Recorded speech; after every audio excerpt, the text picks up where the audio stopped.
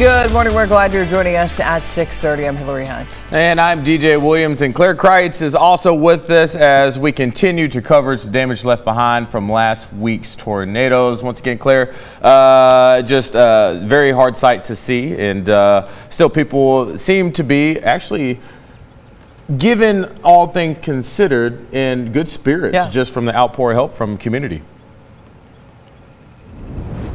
Yeah, that's exactly right. You know, everybody we've talked to is just so thankful for all the help they've gotten. Now, I want you to take a look at this. I'm currently standing on steps of a home that has just been completely leveled. Now, just a pile of rubble and debris. And this is what we're seeing throughout this West Little Rock neighborhood.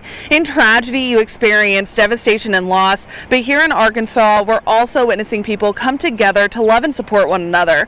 In many neighborhoods, cleanup efforts are well underway, but some are just beginning to process the damage done to their neighborhoods. For Jeff Hood, a remaining wall is now a window into what's left of his area. As he took a look out, he described the damage. Take a listen.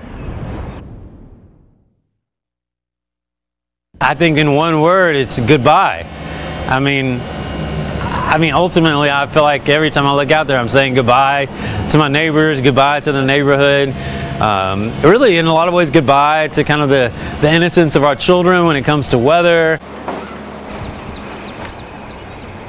Hood says he's thankful there have been so many people in the community who have come out to support their family. Now, something I also want to mention is I've talked to some of the crews out here, and they say that all the people out have been great when it comes to volunteering and helping out. But if you're coming out just to look at the damage, take pictures, please do something to help the people impacted, whether it's bringing some water, some food, or lending a helping hand to move some debris and branches. We do have some ways to volunteer on our website, kark.com. Reporting live in Little Rock, I'm Claire Kreitz. Back to you.